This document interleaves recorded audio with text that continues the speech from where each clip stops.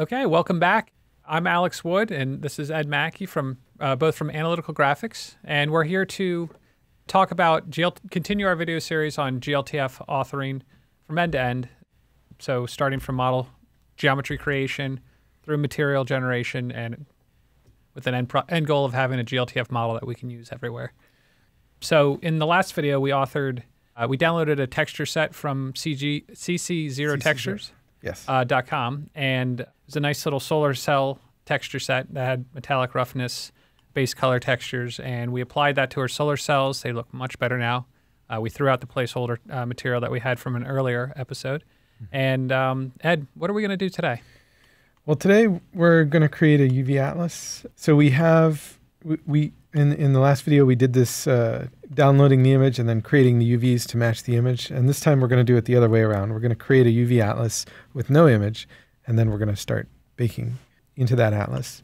If you already know how to create a UV atlas, you can skip this video on to the next video where we'll talk about using that UV atlas that we built um, to bake a, a procedural texture map of some brushed aluminum with uh, with fractal 3D noise in it. That's exciting. Yes, yes. But UV maps are also exciting. Not, not really. UV maps, honestly, are a little bit of a chore, but they're an important thing to get right. Uh, this is a leftover uh, texture from a previous video. I'm going to hit this X button to clear it out. So you just jumped over to the UV editing. Uh, yes, I am in. I'm window. still in Blender 2.81a, and I've uh, loaded the project from the previous video, and I've jumped over to the UV editing tab, and the tab always comes up in edit mode. I'm going to hit.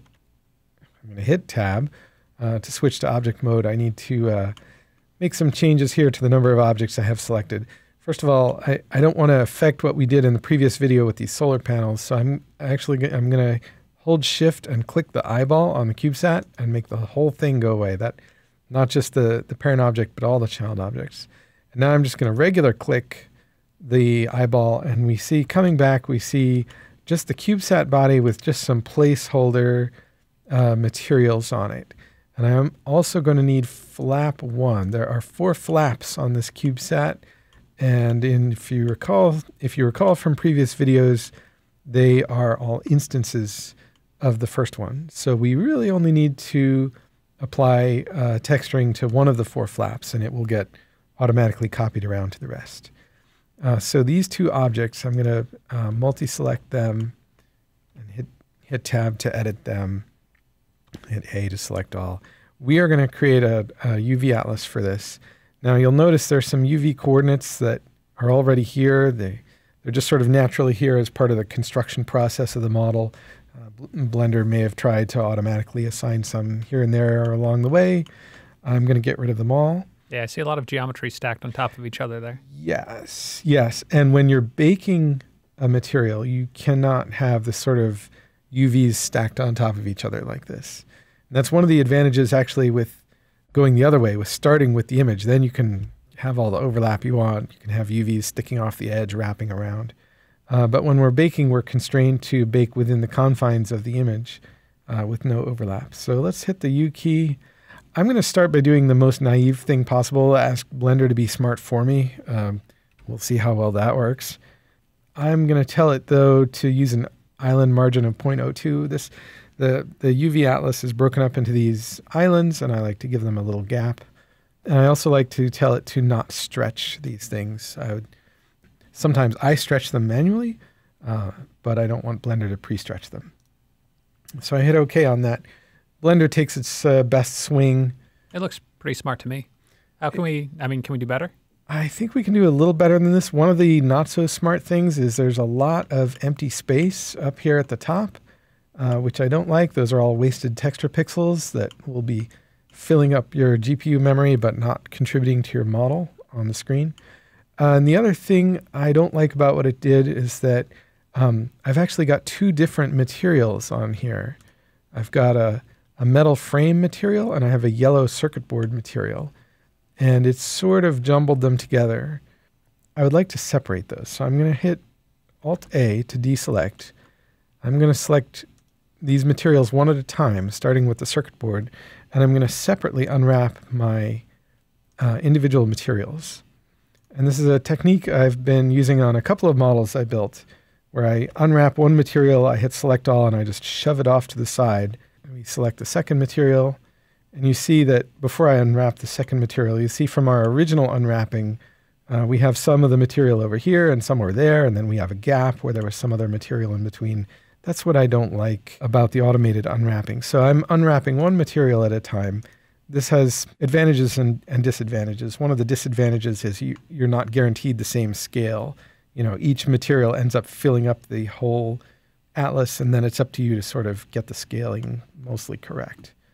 Uh, so to do this next part, I'm going to hit this little button here is called UV Island Selection Mode, and that lets me hit a single vertex and just move an entire UV island out of the way.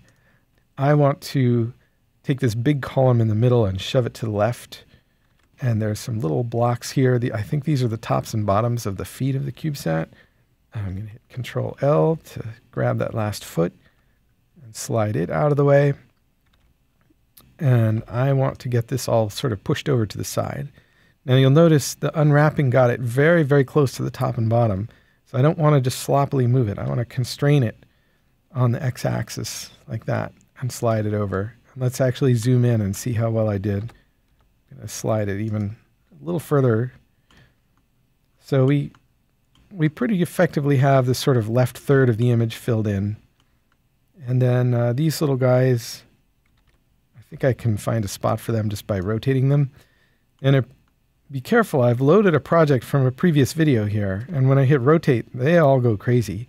Um, so uh, we we had been on the solar cells. We had been using individual origins. I'm going back to the default behavior of bounding box, and now I can rotate the whole thing. Type the number 90, hit enter, slide that in there, and this is part of the beauty of creating the UV atlas before you create the image. It doesn't really matter where I place this. It could be over here, over there. When you do the baking process, it's it's going to take the texture that you've assigned and try and bake it to that spot in in the resulting image map.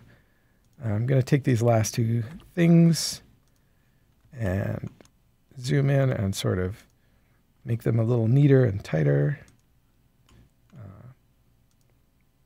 Make as much room in case later on I decide to come back here and add more geometry because there's not a whole lot of geometry.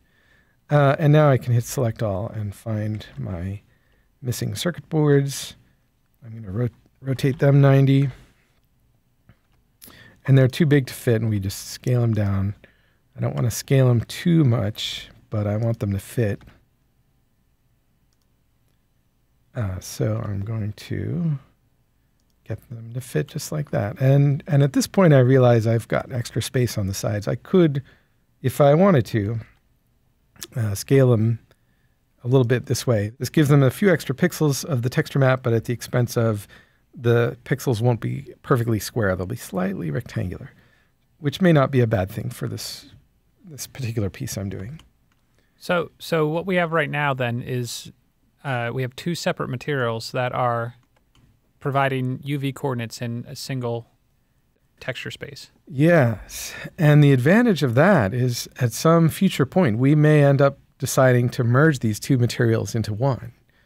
And the question of whether and how to merge materials is an interesting question. So let's talk for a minute about what is a material. Uh, an artist thinks a material is, is wood or metal or mud or what have you. Um, and the graphics engine thinks it's something very different. The graphics engine thinks a material is uh, the shader program, which in this case is a PBR shader, and a stack of texture maps. And so we have these two material slots, and each polygon either belongs to one material or the other. And that's not always good enough. For a complex object, you might want something made of metal that has a bunch of mud splattered onto it.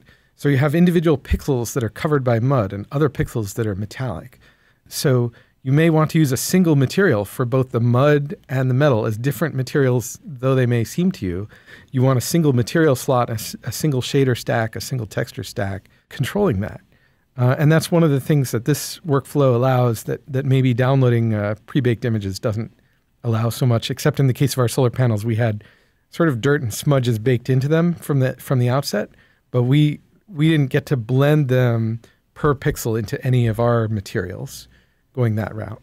Whereas, Yeah, well, and so to, to further that point there, right? We have the model will only have one texture for metal roughness for these two pieces of geometry. So they're sharing that one. That means that's that's only one texture to load. It's only one texture to bind when you're rendering the uh, the actual geometry in a rendering engine. So uh, the more we can combine these into um, unified textures, and then as you suggested, you know, we could even take a more aggressive step and merge the materials into a single material. We won't do that right now, um, but just the fact of putting these into a single texture has already given us a little bit of a it's giving us some headroom to do that in the future. absolutely. That may even sa- end up saving our graphics engine some some draw calls and texture binds and other hmm technical stuff like that.